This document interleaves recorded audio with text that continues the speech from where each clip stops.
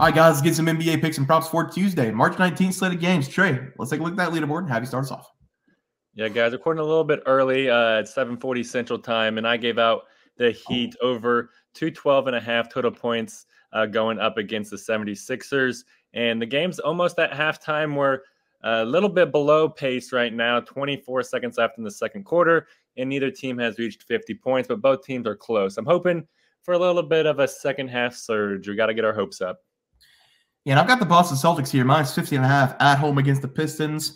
Uh, they're up 11 or 13 at the half right now, 57 46 or 59 46, one of the two. I think they're reviewing something. But Trey, yesterday we looked at the injury report. It said Kristaps Porzingis was on there, nobody else. And then today we've got Tatum popped up, Jrue Holiday popped up, and uh, Al Horford popped up. They all out on rest.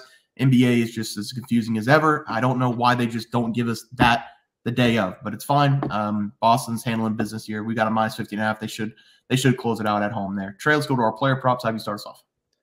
Yeah, and I gave out Desmond Bane over 20 and a half points going up against the Kings. That game has not started yet. I'm excited to get off here.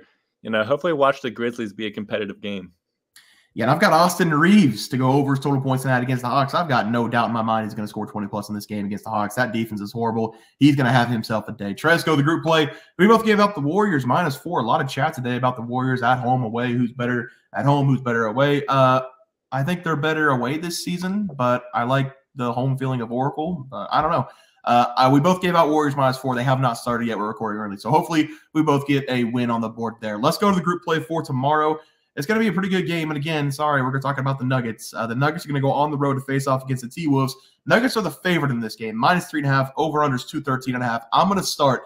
I have not been impressed with what I've been seeing out of the Nuggets. Something is wrong. Nikola Jokic is broken, 16 points or less in two of the last three games. And I'm pretty sure he hasn't touched eight plus assists in five or six of the last seven games. So something's wrong with Nikola Jokic. I think the chemistry's a little bit off. They haven't been scoring a ton of points this season, and the T Wolves are very good defensively. That's the one thing they do well this season with Cat out. They're even better defensively. Anthony Edwards is taking over this team. I think uh, the T Wolves make this an interesting game. I'm going to take the free three and a half points at home with the T Wolves. What do you like?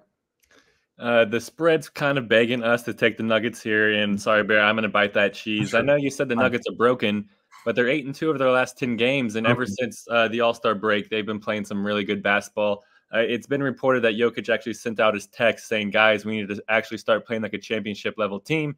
And ever since that text, before at least their last game, they were dominating teams, and they had to have a miracle Kyrie Irving shot. And yes, the Nuggets were down throughout that game, but uh, flurried back to make it a tough game there at the end, and probably deserved to win. But Kyrie Irving slammed the door shut, and uh, I'm going to take them here minus three and a half. We're talking about the Nuggets here. The T Wolves are without Cat. Uh, Rudy Gobert is questionable, even if he does play talking about Jokic. All right, we'll split there. We'll split there. Uh, let's go to our plays tomorrow. Have you start us off? Yeah, guys, I'm going to be breaking down this Houston Rockets going up against Washington Wizards game, Bears' favorite team. This is going to be an entertaining game to watch, even if probably the public perception uh, deems that it is not going to be. The Rockets, they're coming in this game with a ton of momentum. They're seven and one over their last eight games. And that's put them only three games behind the Lakers and the Warriors for the final playing spot. Meanwhile, the the Wizards they are still very bad. They're two and eight over their last ten games. Even worse if you take that over the last twenty. But just over their last three games, they have lost those games by an average score of 131 to 107. So they've been allowing a lot of points and not scoring a lot, losing by an average of 24 points per game. Give me the better team here, guys. Give me the Rockets. They're they're just red hot. I'm gonna take them minus six and a half. I believe that Houston's gonna be able to hold the Wizards to a pretty low number in this game. Houston, they just have one of the best defenses in the NBA. So I think it's going to be tough for the Wizards to really get anything going outside of Kuzma. Yes, Jordan Poole, he can catch fire, but also he can clank off 20 shots in a row. In Washington, they love to turn the ball over. In Houston, they force a ton of turnovers. So the Rockets, they're going to get a handful of extra possessions throughout the game through the forced turnovers and also the offensive rebounds. Houston, they're top 10 in the NBA in offensive rebounds per game. So sign me up for all that. I expect Houston to win by double digits. Give me the Rockets minus six and a half against the Wizards. Yeah, I like that play there. Uh, for my play today, I'm going to be looking at one of my other favorite teams. Give me the Orlando Magic back at home, minus 12 and a half in this game against the Hornets. Orlando, they've been playing some pretty good basketball, but their opponents over the last couple games have been the Raptors in back to back. And while the Raptors are a bad team, The Magic have been beating them by double digit points in both those games in the last two for them. I think the Raptors, in my opinion, are a better team than the Hornets this season, especially uh, with all the injuries that the Hornets have right now and their lack of scoring. It's a lot like the Raptors. And I think this Orlando Magic team should beat this Hornets team by double digit points pretty easily. And it should be a rinse and repeat of what we've seen from the Raptors over the last two games. Charlotte this season is giving up 116.7 points per game, but a lot of people don't know that Charlotte's actually the second worst team offensively in the NBA now. They're only scoring 106.8 points per game.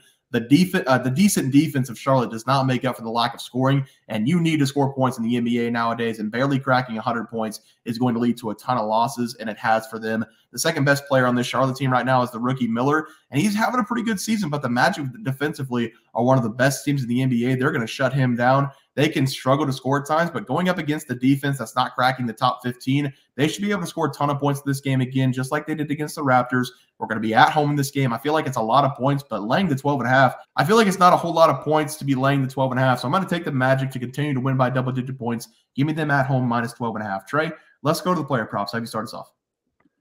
Yeah, I might take Bears' favorite player here. Give me CJ McCollum over 15 and a half points versus the Nets. Bear always takes the threes.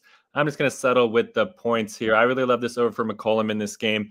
We're going to see him light the Nets on fire, literally, since he is playing the Nets in this game. And McCollum, he's coming this game with a ton of momentum in his last game versus Portland.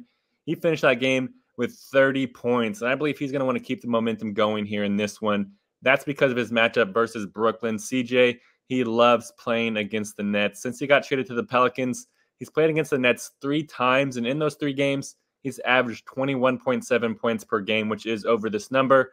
And we've seen McCollum kind of show up here on the road and be reliable on the road this year because in his 25 road games this season, he's averaging 18.4 points per game, which is also over this number. This number is just set way too low. Give me CJ McCollum to go over 15 and a half points versus the Nets.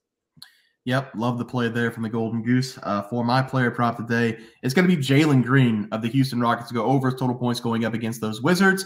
Here we are again, taking a player prop to go over his total points going up against the worst defensive team in the NBA. I attack the Wizards because they give up 124 points per game, and over the last three games, they've been extra bad, giving up at least 130 points consistently throughout these three games. I also attack the Wizards because I enjoy watching the Wizards play basketball. They're one of my favorite teams, like Trey said, in the NBA. And despite the horrible record, I'm looking forward to them in the offseason getting a good pick. Maybe we get someone I know and uh, we can build off that. But for this game, I think it's a good time to take Jalen Green because he's shooting very well from the field. And typically, Jalen Green struggles to shoot. We can get some value in this play with it probably coming out in the teens for his over total points because he's on fire over the last two. He scored 37 points two games ago against this Wizards team, and then he scored 26 points in his last game against the Cavaliers on the season. Jalen Green, he's only making 41.7% of his shots from the field. But over the last two games, he's made 24 of his 43 shots, shooting over 50% from the field. We have to take him while he's hot because he's a very streaky player. And while he's on this hot streak going up against a really bad Wizards team, there is money to be made with this play. He scored 37 against the Wizards just five days ago. He loves playing against this Wizards defense. Give me Jalen Green to have another great game against the Wizards over total points as the play. Trey, let's go to the graphic. Have you start us off?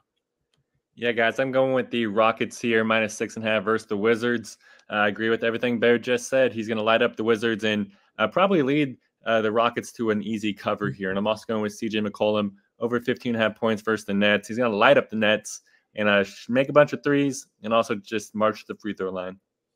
Yeah, I like the Magic here. Double digit spread, not too worried about it. Hornets are a really bad team. Magic, they score 120 points. They should easily cover that spread. And then give me Jalen Green over his points. He's only averaging 18 on the season, so we might get this in the teens. Don't be surprised, though, if it's like 21 and a half, 22 and a half. I'm still going to take the over for that play there. Guys, that's going to do it for our NBA plays and props for Tuesday, March 19th slated games. If you guys enjoyed the content, please be sure to drop a like in this video and subscribe channel below. See you guys next video, and thanks for watching.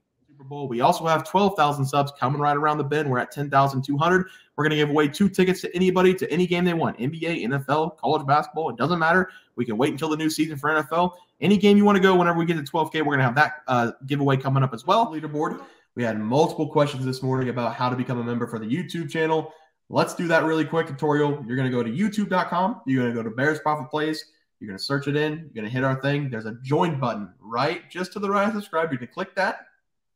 There's two options. You have the Bear Pack for $4.99 that gives you access to YouTube member plays, and then you have the Bear Pack Gold for $7.99 a month that gives you access to our member plays on YouTube, and it gives you a one month membership to our website, bearsprofitplays.com. So if you get the Bear Pack Gold, you save yourself two bucks a month, a little bit cheaper if you want to do that. But that is the tutorial for anybody that needed it. We had multiple questions today through email about how to do it, and it wasn't working. But if you want to know, there it is right there. Trey,